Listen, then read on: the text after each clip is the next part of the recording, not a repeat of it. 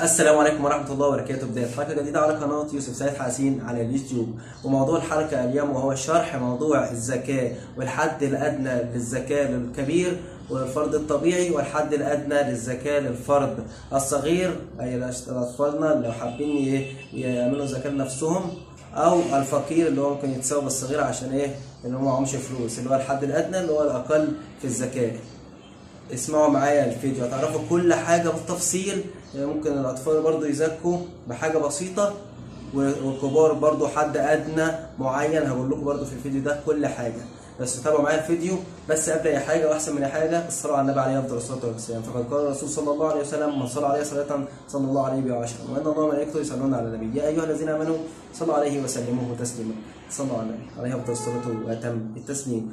استنوا كده أجيب الكتاب علشان أقول لكم كل موضوع الزكاة وكل تفصيلة فيه.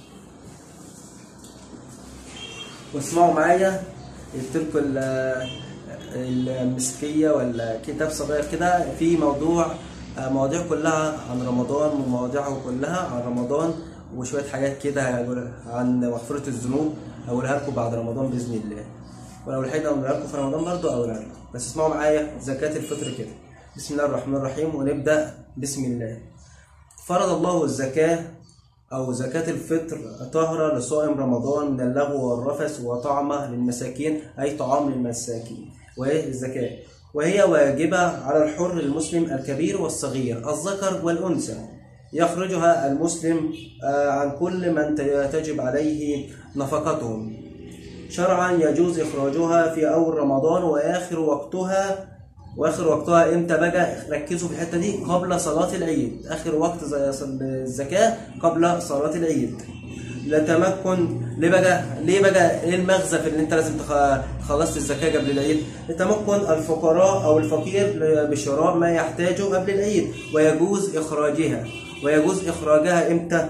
فيجوز إخراجها نقدا خمس جنيهات الفقير اللي هو مش مش معاه فلوس يزكي بحاجة كبيرة?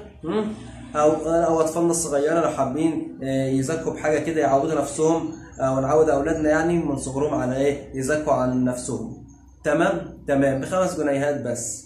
أما إذا أمكن في الزياده فهو خير للجميع وخير للفقراء والمساكين. فهم.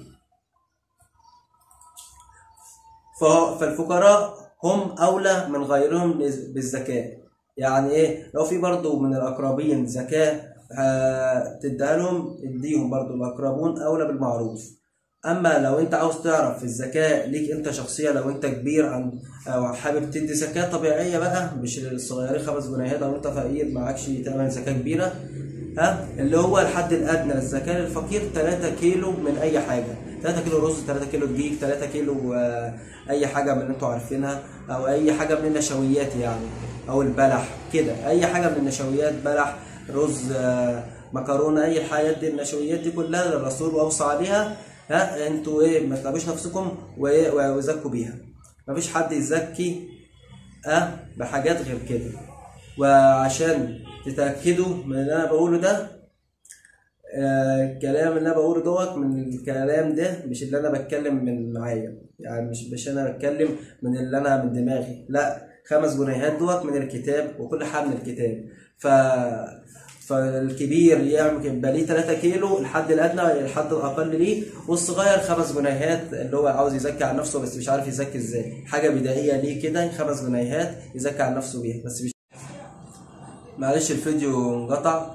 ونكمل مع بعض. أنتوا عرفتوا الزكاة للكبير 3 كيلو من أي حاجة من النشويات.